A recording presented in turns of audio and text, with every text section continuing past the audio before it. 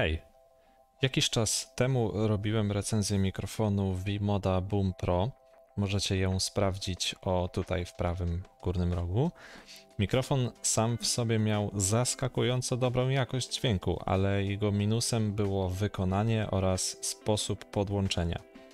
Dzisiaj chciałbym Wam pokazać mikrofon, który przykuł moją uwagę, a jest nim Audio Technica ATGM2.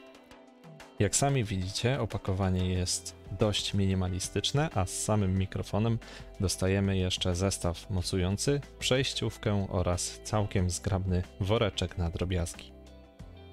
Nie ma tutaj szału, ale jest wszystko, co potrzebne.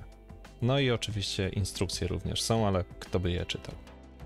Całość przychodzi dobrze zapakowana i nie ma mowy tutaj o jakimkolwiek uszkodzeniu w transporcie, także moim zdaniem na plus.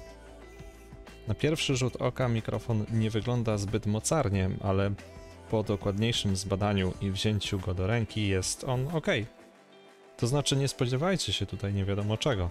Nadal mówimy o mikrofonie, który odstaje od takich na USB lub XLR. Co do mocowania mikrofonu, to tutaj mamy bardzo proste rozwiązanie w postaci dwóch naklejek. Jedną przyczepiamy do mikrofonu, a drugą do słuchawek. To jest super sprawa, bo można go przyczepić praktycznie do każdych słuchawek nausznych. To największa zaleta tego mikrofonu. Całość prezentuje się całkiem spoko, aczkolwiek chcę zaznaczyć, że dla bezpieczeństwa obchodzę się z tym mikrofonem mega delikatnie. Jest on i tak zdecydowanie lepiej wykonany niż wspomniany wcześniej V-Moda Boom Pro, ale jego mocowanie mogłoby być zdecydowanie lepsze. W zestawie mamy tutaj gąbkę, która niweluje wybuchowe spółgłoski. Sam pałąk jest mega mocny i jeśli raz ustawicie mikrofon, to zostanie on w takiej pozycji na stałe. To jest super sprawa. Sam mikrofon też wydaje się być mocarnie wykonany. Po przypięciu do słuchawek można go ustawić w różnych pozycjach, bo sam mechanizm przeskakuje w kilku miejscach. Jeśli chodzi o kabel, to jest on zdecydowanie za cienki jak na mój gust. Ale rozumiem, że audiotechnika miała tutaj cały czas w głowie, że będzie on używany wraz z przewodem od słuchawek. Całość mamy zakończoną mini jackiem 3,5 mm. Do zestawu dostajemy spinki, którymi możemy spiąć przewód mikrofonu do kabla od słuchawek. Na kablu mamy przełącznik do wyłączania i włączania mikrofonu. Jest on w porządku.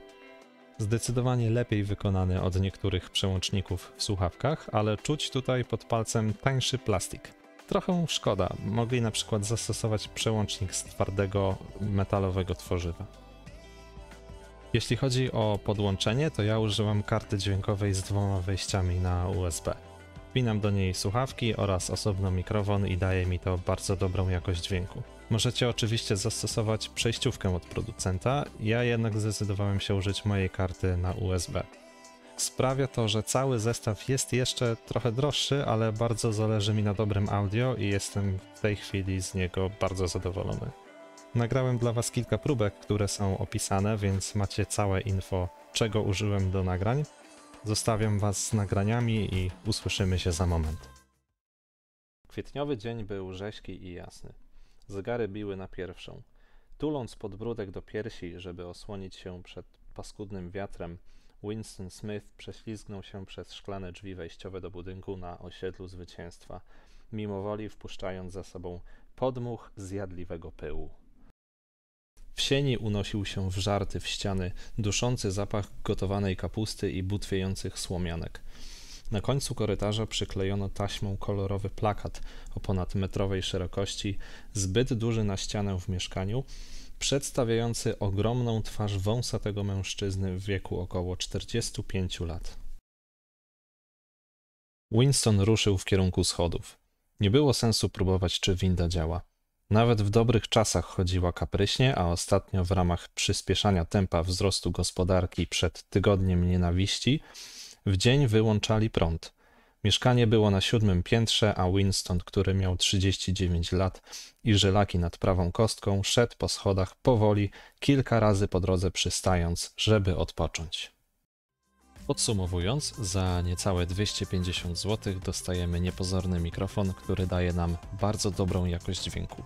Jest on nieco droższy od Vimuda Boom Pro, ale jest zdecydowanie lepiej wykonany i wydaje mi się, że przetrwa dłużej. W Vimoda niestety padł kabel po kilku miesiącach. Dużym plusem jest jeszcze uniwersalność, bo ten mikrofon od Audio Technica możecie podpiąć do każdego zestawu słuchawek i cieszyć się dobrą jakością swojego głosu w grach, czy to podczas rozmowy. Minusem jest niestety system przyklejania go do słuchawek, ale da się z tym żyć. Ze swojej strony mogę go polecić każdemu, kto zechce zacząć przygodę z nagrywaniem, a nie chce mieć dodatkowego sprzętu na biurku. Z mojej strony to tyle w tym materiale. Zachęcam do śledzenia kanału i zostawienia łapek w górę, bo to pomaga mi w rozwoju. Dzięki za oglądanie i do następnego.